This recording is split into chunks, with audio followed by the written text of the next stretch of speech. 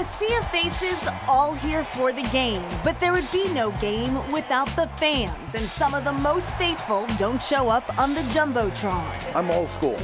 I go back to no cheerleaders. These season ticket holders range from downtown My teeth are on the floor. I'll never give them up my teeth. to way up top. That's where the real fans are. Their styles may differ, I'm a motorcycle rider, and it was just natural. I have a shrine in my house. but they're united by their lifelong love of the Celts.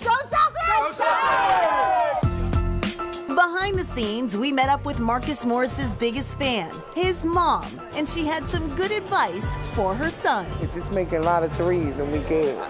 and win this game. That's all. Listen to your mama.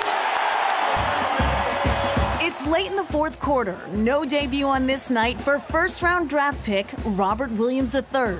But the team expects big things from this young player. Robert's a great young man. I, I've really been impressed. He's putting in the work, uh, putting in the time in the training room and the time in the court. The 21 year old 6'10 Louisiana native now calls Boston home. Have you had a tour of Boston yet? Not at all. All right, well, this is how you do it.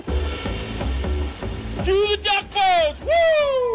better way to start than with some excited fans What's up, what's up, what's up, what's up? on a Boston Duck tour?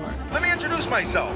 My name is Choo Choo Charlie. We're the company that give you guys your championship parades. Williams takes in landmarks from Faneuil Hall to the State House to Beacon Hill and TD Garden. Give it up for Boston Celtics! The 80 minute tour ends with a quack.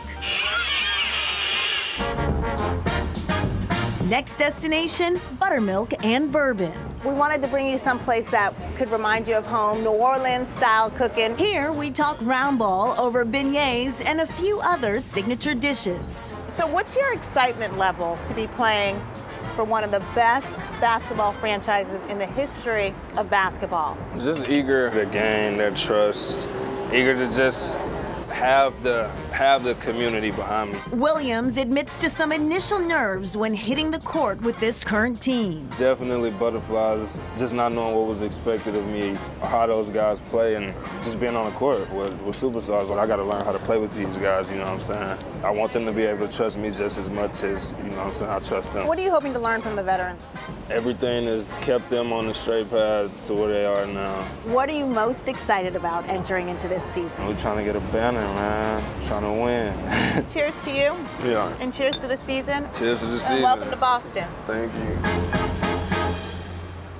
Nicely done. By the way, that duck boat parade tradition goes back to 2002 when the Pats won their Super Bowl. That's right, and since then they've had 11 parades, including one for the Celtics in 2008. It's time for another one. Hmm. That is Chronicle 4 tonight. I'm Shayna Seymour. I'm Anthony Everett. Have a good night. See you tomorrow.